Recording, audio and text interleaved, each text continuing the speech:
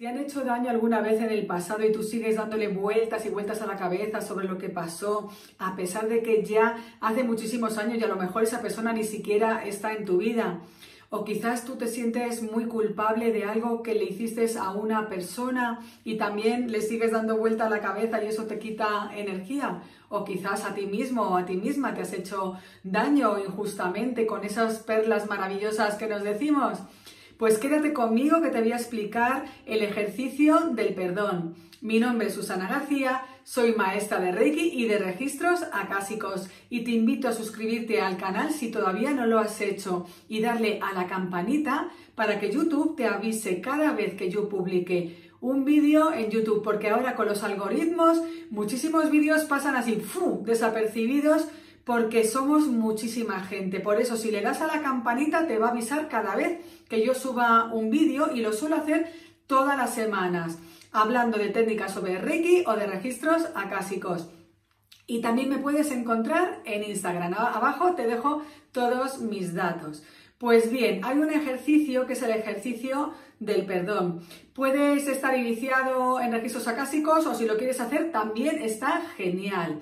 Pues sí, a mí por lo menos me pasa, ¿no? De, o me pasaba, ¿no? Que le daba vueltas a la cabeza, mira lo que me han hecho, y para arriba y para abajo, y eso me generaba más desasosiego, sufrimiento, y me quitaba energía estar todavía anclada en el pasado de eso que me hicieron.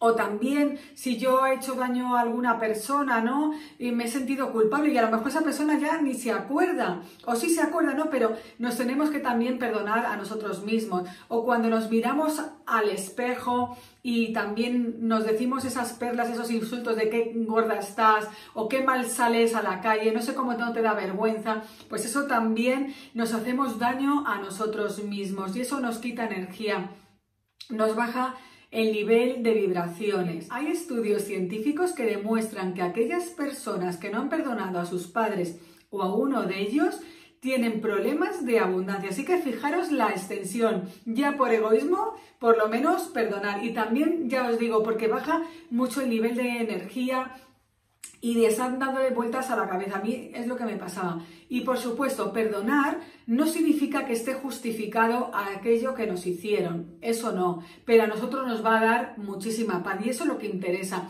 El otro, genial que esté en su casa, que con lo que hizo, pero a nosotros lo que nos importa es tener paz interior. Y el ejercicio es el siguiente. Durante 33 días Vamos a recitar con conciencia desde el corazón, no como un loro, como un papagayo, la siguiente oración.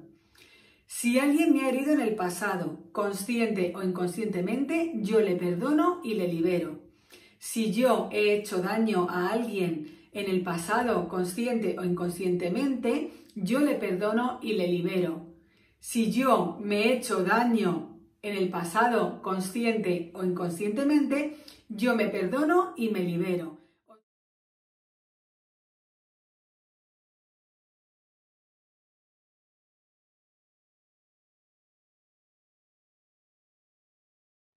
Se hace durante 33 días. En todas las técnicas de sanación vais a ver que la numerología es muy significativa. El 33 es el número de la creación. En resumen, durante 33 días vas a recitar esa oración desde el corazón, no como un loro. Y si en vez de 33 días tú al 21 días te sientes liberado, liberada y con paz en el corazón, pues también está fenomenal. Ya te he dicho que aquí en las técnicas energéticas no hay unas reglas estrictas. Lo importante es que tú tengas paz. La otra persona pues nada, te da igual, allá él o allá ella, no justifica lo que te haya hecho. Y me encantó un comentario que escuché el otro día a un psicólogo que decía, ¿cómo sabemos que hemos perdonado? Pues cuando decimos, uy, pues ya no hay nada que perdonar, ¿no? Ya dices, ¿qué hay, que perdonar? Entonces es así como sabemos.